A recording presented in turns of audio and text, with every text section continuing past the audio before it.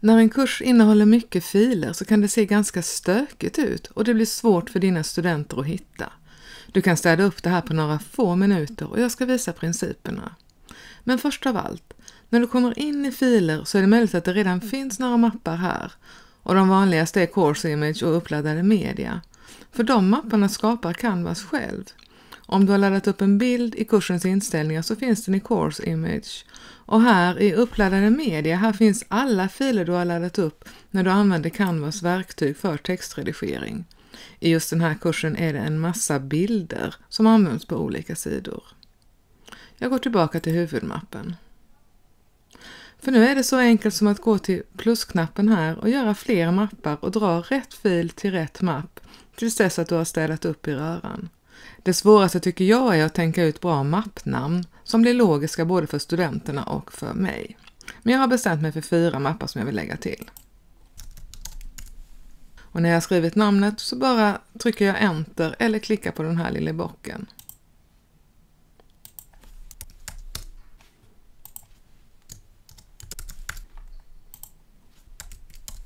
Jag gör nästan alltid en mapp som heter något i stil med gammalt krafs, bara för att ha någonstans att lägga grejer som jag inte vill kasta bort men inte vill att studenterna ska se.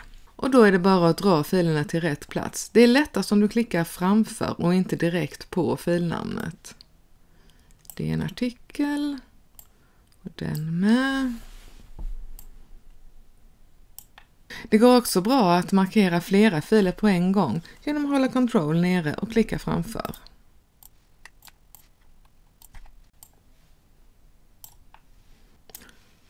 Och där var jag färdig. Nu är allting insorterat i mappar.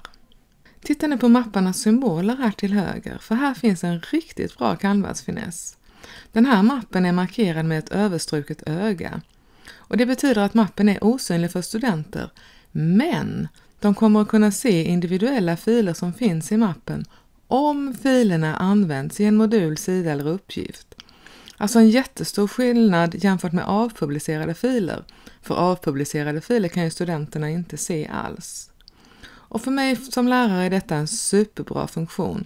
Den gör att jag kan städa upp så att det ser rent och snyggt ut under filer, men jag slipper oroa mig för att någonting ska sluta fungera. Så jag gör samma inställning för Course Image och gammalt Krafs. Jag klickar på publicerad klippen och så väljer jag att den endast ska vara tillgänglig via länk. Och sen gör jag samma här på gammalt Krafs, endast tillgänglig via länk. Lustigt nog så finns det ingen knapp för studentens vy inne i filer så jag får gå ut till startsidan, välja att jag vill ha studentens vy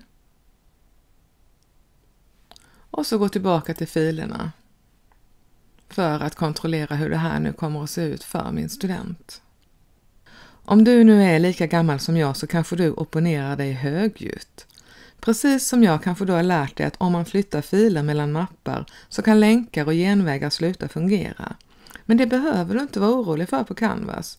För mapparna här de är egentligen bara en slags visuell representation. Och det går faktiskt till och med att ändra filnamnet på filer och det ska fortfarande fungera.